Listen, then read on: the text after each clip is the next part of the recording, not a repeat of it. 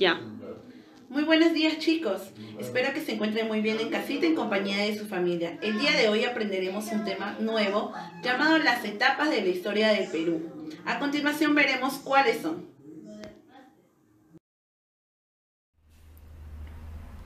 Muy bien chicos, las etapas de la historia del Perú están conformadas por tres etapas. La primera es llamada la etapa autóctona, donde están divididos los tres horizontes, el horizonte temprano, el horizonte medio y el horizonte tardío. Dentro del horizonte temprano tenemos a la cultura Chavín y Paracas Cavernas. Dentro del horizonte medio tenemos a la cultura Tiahuanaco, Huari y Sicán. Finalmente, en el horizonte tardío tenemos a la cultura inca. Dentro de estos tres horizontes se desarrolló periodos intermedios. El periodo intermedio temprano estaba conformado por Paracas Necrópolis, Nazca, Mochica y Zipán. Y el periodo intermedio tardío por la cultura Chimú. Seguidamente se dio lo que es la etapa de la dependencia. Se desarrolló la conquista y el virreinato de nuestro Perú. Luego, la etapa de la independencia, donde nos encontramos ahora en la actualidad. Primero se dieron las corrientes libertadoras y finalmente la república.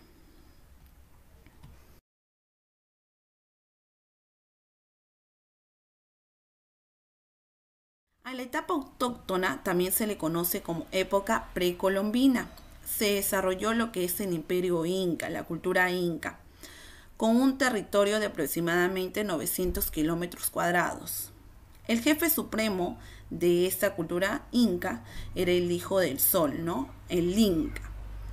Estaba conformada por ayus, creían en su dios Viracocha, en su dios Inti y el Pachamama, le rendían tributos. Una de, la lengua principal de la cultura inca fue el quechua y como lenguaje matemático usaban lo que era los quipus.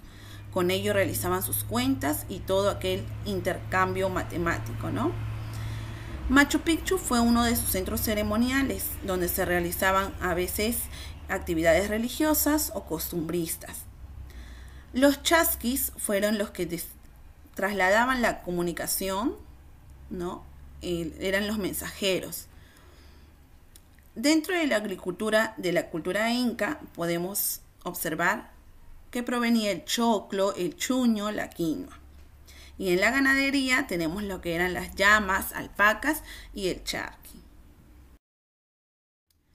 Seguidamente se dio paso a la etapa de la dependencia, donde se desarrolló primero la conquista del Perú y luego el virreinato del Perú.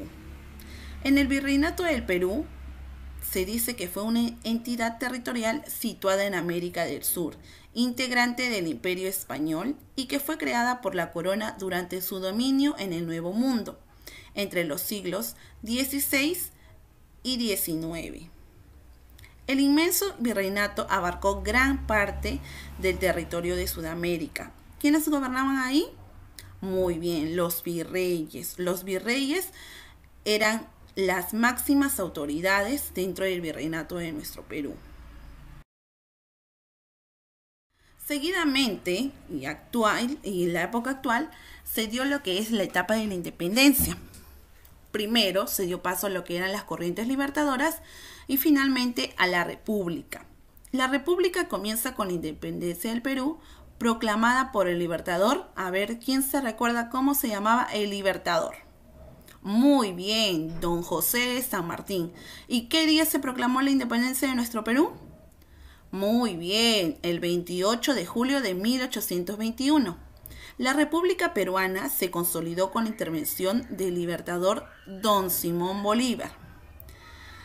Dentro de los hechos más importantes de la República, los primeros años de nuestra independencia se desarrollaron entre luchas militares por alcanzar la presidencia de la República. En 1845, con la elección de el coronel Ramón Castilla, se abolió la esclavitud y surgieron los primeros ferrocarriles, el primer medio para transportarse. En 1895, Chile declaró la guerra al Perú. Esta guerra se le conoce como la Guerra del Pacífico. Muy bien. En 1941, el ejército ecuatoriano invade la frontera norte peruana. ¿Por qué en esta diapositiva te coloco a Velasco Alvarado? Porque fue uno de los presidentes que tuvo más relevancia en la época de la República. En los años 70 se emprende la reforma agraria y se restringen los medios de prensa bajo el mando de los militares, comandado por el general Velasco Alvarado. En los años 80 aparecen grupos terroristas quienes trajeron dolor y sufrimiento a todos los peruanos por sus ataques, con bombas y asesinatos de gente inocente, entre ellos algunos niños, ¿no? Por el ataque terrorista. En los años 90, nuestra economía se abrió al mercado internacional.